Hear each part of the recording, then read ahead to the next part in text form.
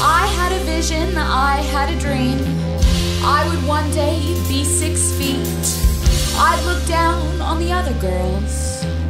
Wearing flats, while they wore heels. But in this lifetime, I have learned that smaller is better. How tables are turned.